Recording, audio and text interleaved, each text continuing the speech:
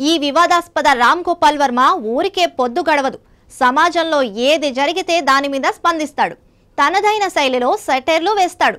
అంతటి corona lockdown సమయంలో కూడా కరోనా పేరుతో సినిమా తీసి రిలీజ్ చేసిన ఘనుడు మన రామ్ గోపాల్ వర్మ. కొత్తగా ఏదైనా పుట్టుకొచ్చిందంటే చాలు. దాని పూర్వపరాలు తవ్వి తీయడం అన్వేషించడం రామ్ గోపాల్ వర్మకి అలవాటు. ఇప్పుడు మరో వైరస్పై పడ్డాడు వర్మ. తాజాగా దక్షిణాఫ్రికా దేశంలో కరోనా వైరస్ ఒమిక్రాన్గా రూపాంతరం చెందింది.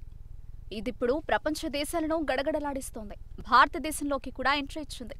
బెంగళూరులో ఐదు కేసులు నమోదయ్యాయి. ఈ క్రమంలోనే ఒమిక్రాన్ పై చర్చ మొదలైంది.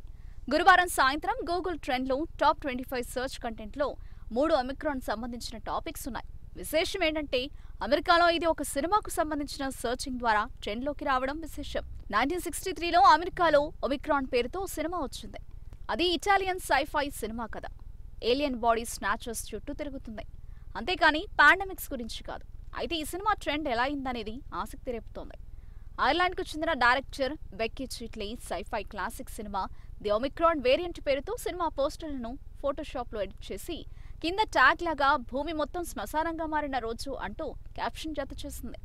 ఇది నిజమని మన రామ్ గోపాల్ వర్మ నుంచి మొదలుకుని అందరూ ఓ సినిమా ఉందని ఆ టైంలోని పరిస్థితులను ఊహించారని తెగ వైరల్ చేస్తున్నారు. మన టాలీవుడ్ దర్శకుడు రామ్ గోపాల్ వర్మ కూడా ఆ పోస్టును తన సోషల్ మీడియా ఖాతాలో షేర్ చేశాడు.